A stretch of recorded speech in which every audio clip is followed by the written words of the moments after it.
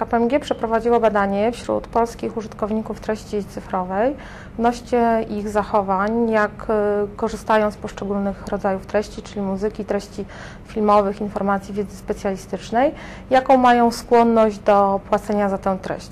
Y, główne wnioski z naszego badania wskazują, że y, Polacy są już skłonni płacić za treść cyfrową. E, są skłonni płacić za pewne czynniki, które spowodują, że ta treść będzie dla nich e, bardziej atrakcyjna. E, w przypadku informacji jest to lepsze odfiltrowywanie użytecznych informacji, informacji wiarygodnych. W przypadku treści filmowych jest to zdecydowanie telewizja na żądanie czy poszerzenie oferty kanałów tematycznych.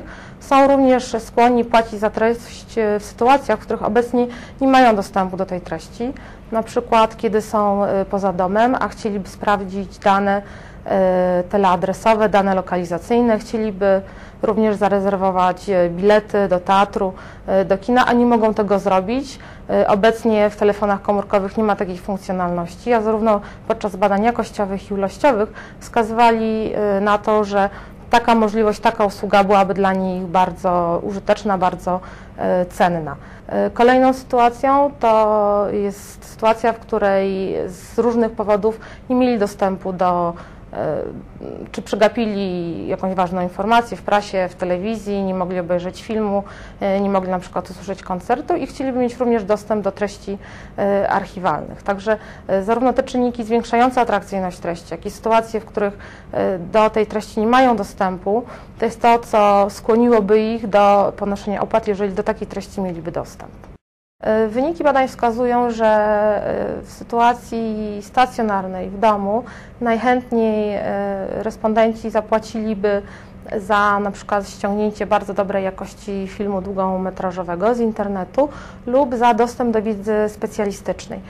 W sytuacji mobilnej, co było dla nas pewnym zdziwieniem, pewnym zaskoczeniem, najchętniej e, respondenci zapłacą za możliwość przeglądania wartościowych raportów, analiz, które później mogliby przesłać na przykład na swoją pocztę, e, na swoją skrzynkę e-mailową i już je odebrać czy dokładnie przeanalizować w domu. Czyli tutaj e, wychodzi taki model użyteczny, że jak mamy trochę wolnego czasu, to chętniej go przeznaczymy na coś, co jest użyteczne niż na rozrywkę. Aczkolwiek drugim wskazaniem E, było ściągnięcie dobrej jakości gry na telefon komórkowy, e, czyli coś, co byłoby takim zabijaczem czasu, tak? Pozwoliłoby nam jakoś sympatycznie e, spędzić czas, na przykład podczas oczekiwania na znajomych.